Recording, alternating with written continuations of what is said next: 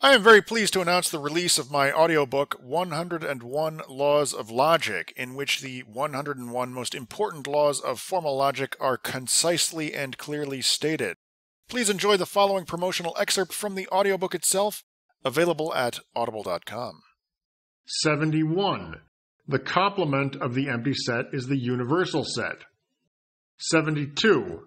0 is the number of the empty set. 73. 1 is the number of the smallest set K1 of which the empty set is both member and subset. 74.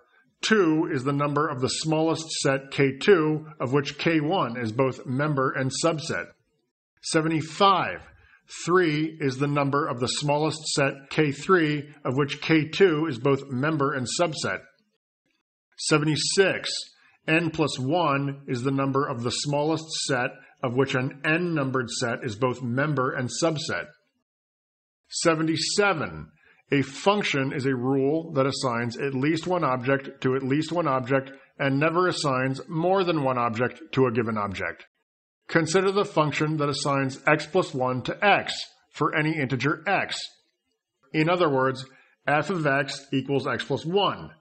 This function is a rule that assigns exactly one number to any given integer. We will henceforth refer to this particular function as the successor function.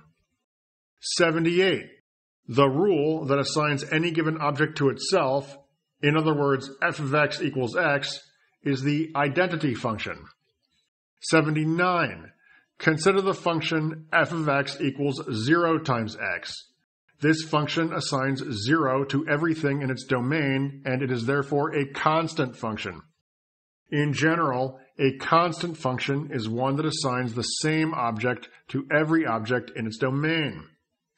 A function is one-to-one if it never assigns the same object to more than one object. The identity function is a one-to-one function. So is the successor function. 81. A one-to-one function establishes a one-to-one correspondence between two sets. Other expressions for one-to-one correspondence are mapping relation, transformation, and bijection.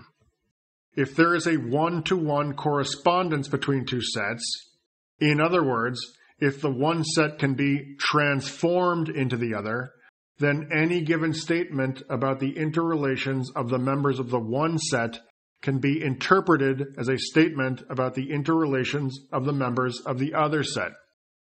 82. To count the members of a given class K is to biject the members of K with those of an initial segment of the series of positive numbers.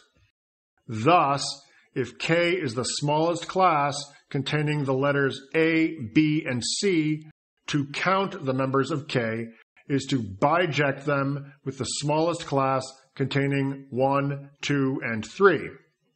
83. A recursive function is one that is defined for each of its own outputs.